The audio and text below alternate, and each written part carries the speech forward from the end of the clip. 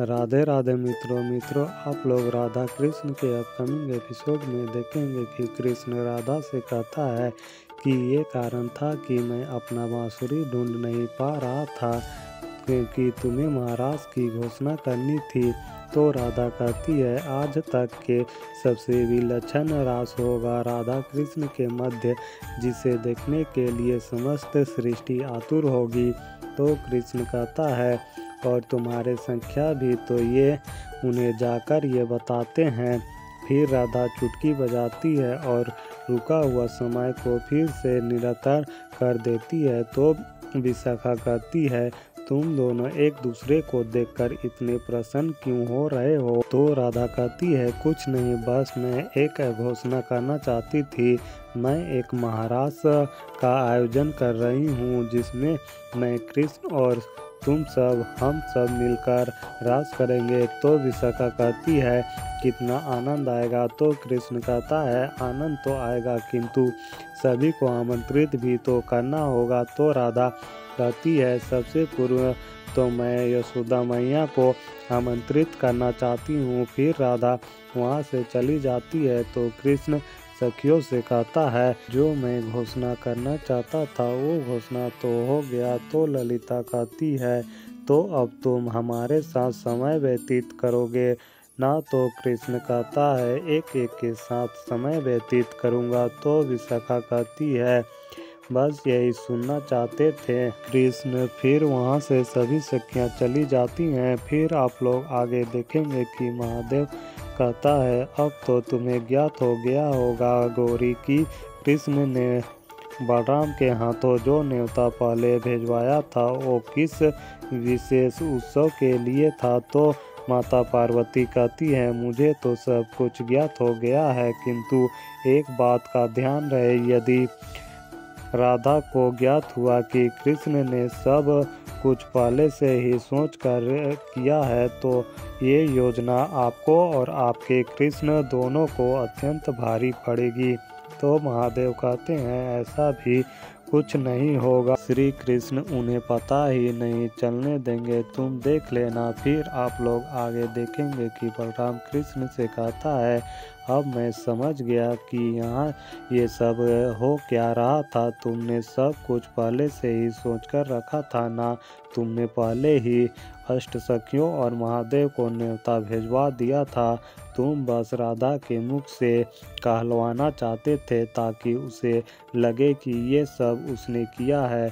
तो कृष्ण कहता है, जो आपने कहा वो सत्य है, किंतु ये बात आपको किसी को नहीं बतानी है और विशेष रूप से राधा को फिर आप लोग आगे देखेंगे कि माता पार्वती महादेव से कहती हैं, अभी तो राधा और कृष्ण ने महाराज की केवल घोषणा की है और आप कितना प्रसन्न लग रहे हैं तो महादेव कहते हैं, प्रसन्न क्यों ना हूँ?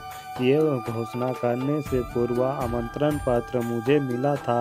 अब महाराष्ट्र में भाग लेने के लिए प्रथम आमंत्रित मैं हूँ तो सबसे पहले सज मुझे भी तो होना पड़ेगा। तो माता पार्वती कहती हैं, मुझे तो ऐसा प्रतीत हो रहा है, ये महाराज अत्यंत दिव्य और अद्भुत होने वाला है।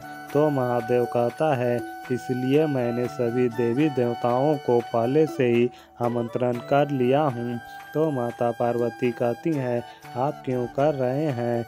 तो महादेव कहते हैं, मेरे आराध्या के प्रत्येक रास प्रेम से परिपूर्ण होता है। संसार में प्रेम का संचार करता है, इसलिए मैं नहीं चाहता हूँ कि कोई भी इस अद्भुत प्रेम से वंचित ना रह जाए।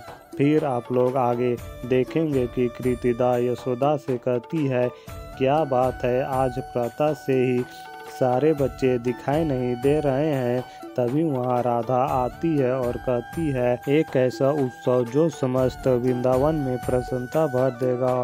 दूर दूर तक इसी उत्सव की ही गूंज होगा क्योंकि हम एक महा उत्सव की तैयारी कर रहे हैं। ये महाराज कल से ही होगा, इसलिए आप सज हो जाइए और सब कुछ निश्चित कर लीजिए क्योंकि इस महाराष्ट्र में बहुत से लोग आने वाले हैं और हम सब मिलकर उत्सव मनाएँगे। तो यशोदा कहती है, मेरे मन में भी यही थी कि उत्सव हो और हम सब मिलकर ये उत्सव मनाएँ तो राधा कहती है, ये मैं जानती थी, इसलिए मैं आपकी प्रसन्नता के लिए किया हूँ और इस रास की पूरी तैयारी दाव कर रहे हैं। दाव तो यहाँ आने वाले थे, आपका आशीर्वाद लेने, फिर आप लोग आगे देखेंगे कि कृष्ण अष्ट सखियों से कहता है मुझे आभास हुआ है कि मेरे सारे प्रिय सखियाँ यहाँ वे रास के लिए कुछ